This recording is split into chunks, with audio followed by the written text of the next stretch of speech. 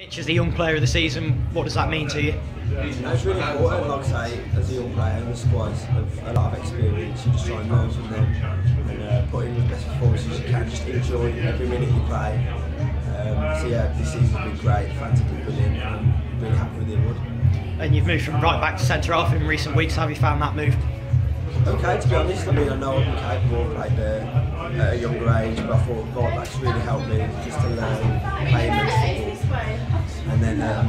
obviously moving into centre half, playing with people like Ryan Paddock, it's really helped me as well. And obviously I've had a few partners in there, but I feel like I've settled okay and hopefully can push on. But the gaffer knows I can play right back or even left back if he needs me to, so it's all right. How big an influence has Ryan Paddock been in that? You mentioned him just there. Yeah, really good, like I say, he's experienced and um, like I say, talks you well in the game, helps you through and uh, I think it's, it's been good to play with him.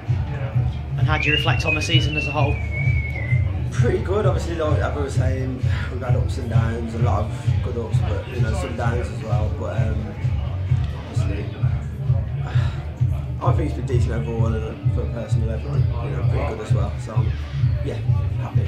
And how good was the FA Cup run to be part of as well? Yeah, that was brilliant, especially as a young lad though. Um, you know, you tell your mates about oh, playing in the FA Cup, but then you think about you playing against good teams like Chelsea and Redditch. Um, so yeah, it was brilliant. The days, the fans that were there, oh, loved it. Thanks, Mitch, and well done on your award. Cheers, lads.